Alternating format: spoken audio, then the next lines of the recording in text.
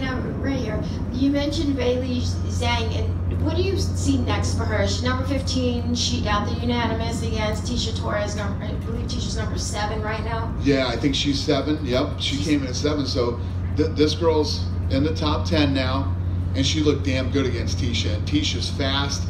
Tecia moves a lot. Tecia's hard to hit. Um, Tecia's a really good wrestler too. Um, she looked really good tonight. And, and when you think about when we went in a few years ago and did the Ultimate Fighter in Japan, the, the level of talent was very low, but boy, it's it's moving quick now. And we're building the Performance Institute that we're opening this summer. Uh, we're going there in June for the grand opening, three times bigger than Las Vegas is. So you're going to see a lot of talent. I'm doing that one. I'm opening three in Mexico.